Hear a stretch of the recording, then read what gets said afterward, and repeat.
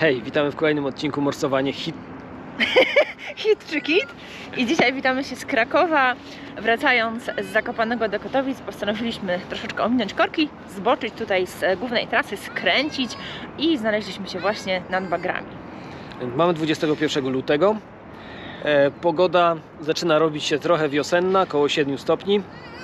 E, Zobaczymy jak tam warunki. Na pewno możemy powiedzieć, że parking zasługuje na dwójkę, bo jest bardzo bliziutko. Dodatkowo e, nasze czujne oczy dostrzegły tutaj i przebieralnie, e, i jakieś, e, nie wiem, knajpki, food trucki, takie różne rzeczy. Jest też plac zabaw dla dzieci, To może jednak dwójka ale co dwójka? za ekstras. Może być dwójka. No. To sprawdzimy wodę.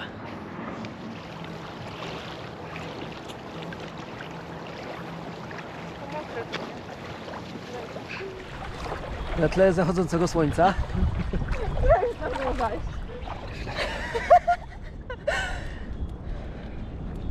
Szukam temperatury. Temperatura spadła do 3 stopni. Tak więc jesteśmy e, nad zalewem Bagry. Zejście do wody oceniamy na dwa. Piaseczek, bardzo łagodne zejście, także bardzo, bardzo przyjemnie. Przejrzystość wody na jedynkę, ze względu na to, że dno jest piaszczyste, tak więc woda jest taka trochę bardziej mętna. O ekstrasach już Wam powiedzieliśmy e, na początku. Głębokość wody też na dwójkę, ze względu na to, że e, można zajść dość, dość głęboko. Dzisiaj to w ogóle tak jakbyśmy byli nad Bałtykiem e, przy zachodzie słońca, bo co prawda słońce e, trochę za chmurami, ale jednak e, jest klimacik właśnie takiego zachodzącego e, słońca nad Bałtykiem.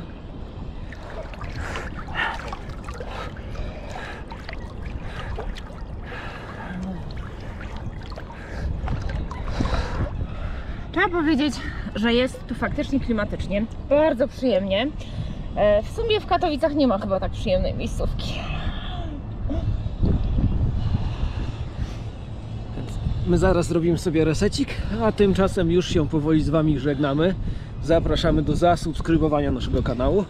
Polecajcie nasze treści no i dajcie znać, gdzie mamy się znowu pojawić. Jak widzicie, grzecznie Was słuchamy i jak nam piszecie, macie jechać na bagry, to jedziemy na bagry. Jak piszecie nam, macie być w Witowie nad tym górskim potokiem w środku lasu, to tam właśnie jedziemy. Także my Was słuchamy. Czekamy na jeszcze miejscówki, zanim się sezon porządnie skończy, bo wiecie. Do zobaczenia. Pa! Pa!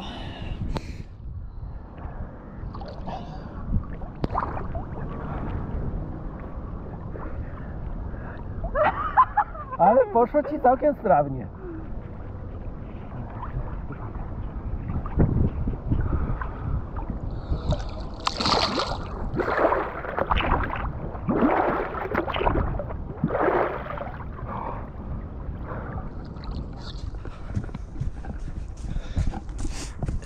Można zwiedzić przybieralnię.